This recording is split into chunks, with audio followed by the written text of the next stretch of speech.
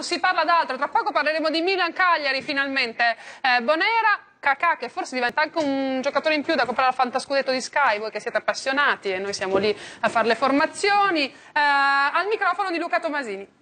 Eccoci qua, Daniele Bonera, eh, conta la rovescia dei giorni per il rientro in campo, conta la rovescia però delle ore per l'arrivo di Kakà. L'hai sentito per caso al telefono? No, no, personalmente no, buonasera a tutti.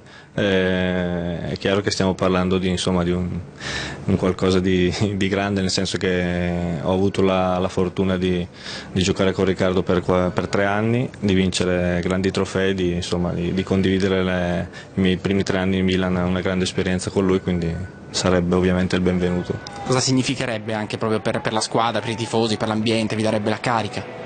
Beh, è chiaro che un personaggio come Riccardo porterebbe grande entusiasmo sicuramente.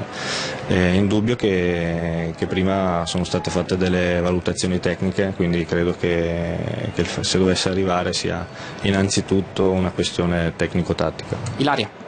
Grazie Bonera, davvero siamo a ridosso del calcio d'inizio, però insomma vogliamo sempre di più Grazie capire la fisionomia di questo Milan. Ora pensiamo senza cacà, poi nelle prossime ore daremo l'annuncio in tempo reale, siamo sicuri con Gianluca Di Marzio. Buona stagione. Eh...